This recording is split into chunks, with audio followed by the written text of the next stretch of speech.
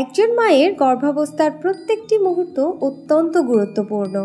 আর শেষ তিন মাস বা পঁচিশতম সপ্তাহ থেকে আটচল্লিশতম সপ্তাহ পর্যন্ত সময়টি মা ও শিশু এবং তার পরিবারের সকল সদস্যের জন্য অত্যন্ত গুরুত্বপূর্ণ।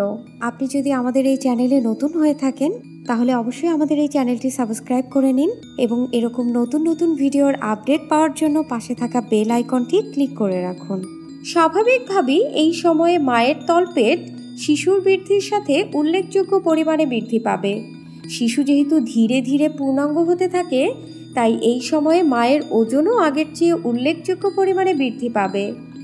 মায়ের শরীর যে কোনো সময়ের চেয়ে বেশি দুর্বল হয়ে পড়ে, তাই এ সময় বেশি হাঁটাচলা না করাই শ্রেয় হবে। তবে একেবারে শুয়ে বসে থাকাও মা ও শিশু কারও স্বাস্থ্যের জন্যই মঙ্গলজনক নয়। কর্মজীবী মায়েরা এই সময় থেকে কাজে বিরতি দিন। অফিসে আসা যাওয়া, যানবাহনে চড়ার ধকল শরীরের জন্য ক্ষতিকর হতে পারে। তাছাড়া ডাক্তারের পরামর্শ ছাড়া কোনো দূরবর্তী স্থানে ভ্রমণ এই সময়ের জন্য একেবারেই নিষিদ্ধ। মায়ের খাবার যাতে স্বাস্থ্যসম্মত ও সুষম হয়, সেক্ষেত্রে পরিবারের সবাইকে নজর রাখতে হবে। বেশি করে জল ও আয়রন সমৃদ্ধ খাবার খান।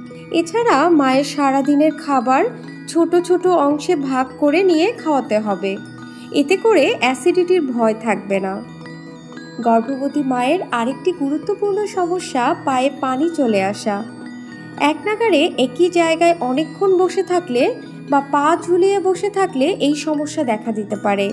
তাই কিছুক্ষণ পরপর বসার ধাঁচ, ধরন এগুলো চেঞ্জ করতে পারেন এবং খেয়াল রাখবেন কোনোভাবেই যেন তার তলপেটের উপরে প্রভাব না ফেলে। ঢিলে ঢালা পোশাক পরুন, নিজের ঘরের পরিবেশ আরামদায়ক করে রাখুন। মাকে সবসময় পরিবারের সদস্যদের মানসিকভাবে সাহস দিতে হবে।